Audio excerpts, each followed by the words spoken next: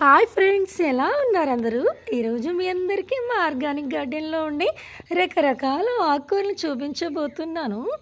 Video చివరి వరకు చూడండి. అన్ని రకాల ఆకుకూరలు చూద్దరు కానీ అన్నీ అంటే అన్నీ లేవు. కొన్ని రకాల ఆకుకూరలు అనమాట అవి మా గార్డెన్లో వేశాను.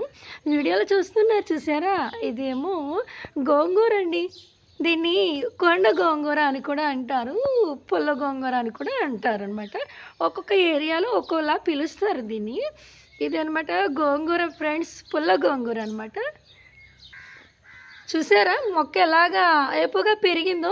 ఇది పెరిగేటప్పుడే మేము కొద్దిగా ఆ చివర్లు కట్ చేస్తూ ఉంటాం అనమాట అప్పుడు అలాగా ఏపుగా గుబురుగా పెరుగుతుంది అనమాట మీ ఇంట్లో ఏమైనా మొక్కలు ఉంటే ఇలాగా పై చిగుర్లు ఆ కత్తిరిస్తూ ఉండండి. ఇలా గుబురుగా పెరిగే ఛాన్సెస్ ఉంటాయి.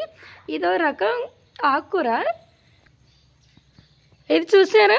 ఇది ఆల్రెడీ ఇది వరకు యూట్యూబ్లో పోస్ట్ చేశాను కదా. బచ్చలి కూర అనమాట తీగ బచ్చలు అని వీడియో పెట్టాను కదా యూట్యూబ్లోను. అదనమాట ఇది రెండవ రకం ఆకుకూర అనమాట మా ఆర్గానిక్ గార్డెన్లో.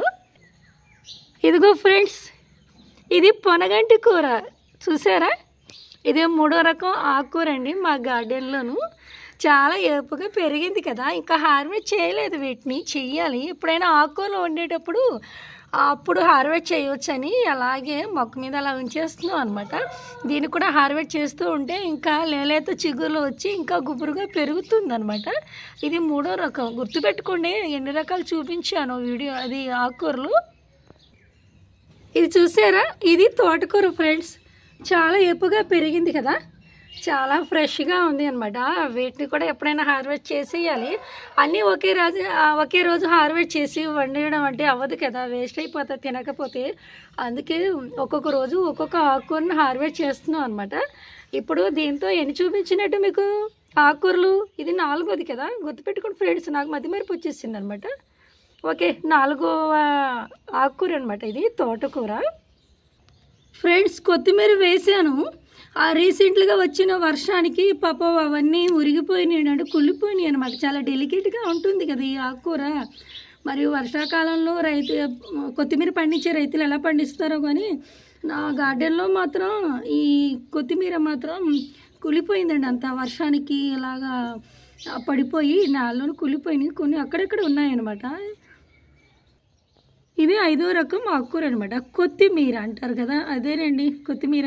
చట్నీలోకి పచ్చడిలోకి ఎప్పుడైనా వంటకాల్లోకి వాడుతున్నాం దీన్ని మా వారు రీసెంట్గా అదే ఈరోజు హార్వెస్ట్ చేశారు. యూట్యూబ్లో ఆల్రెడీ దీనికి పోస్ట్ చేశాను. ఇది ఆరో రకం ఆకుకూర అనమాట దీన్ని గురుగుర అంటారని ఒక వీడియో ఒక షార్ట్ యూట్యూబ్లో పోస్ట్ చేశాను కదా అదనమాట ఇది హార్వెస్ట్ చేసిన గురుగుర అనమాట ఇది ఐదవ రకం ఆకుకూర అనమాట మా ఆర్గానిక్ గార్డెన్లో వేసింది. ఇదిగో ఫ్రెండ్స్ ఇది మంచి గోంగూర అంటారు కదా అంటే అంత పులుపు ఉండదు అనమాట దీనికి. ఇది మా ఆర్గానిక్ గార్డెన్లో ఏడవ రకం ఆకుకూర అండి. ఇందా చూపించాను చూసారా? గురుగుర ఏజెన్సీ కూర అని చెప్పాను కదా. అది ఆరో ఆకుకూర అనమాట ఇది ఏడవదండి. ఇది మంచి గోంగూర అనమాట ఇది ఎక్కువ వేయలేదండి. దీని విత్తనాలన్నీ నేను కలెక్ట్ చేయలేకపోయాను. మంచి గోంగూర యొక్క విత్తనాలు. ఇది ఏడో ఆకుకూర అనమాట మా ఆర్గానిక్ గార్డెన్లో వేసింది.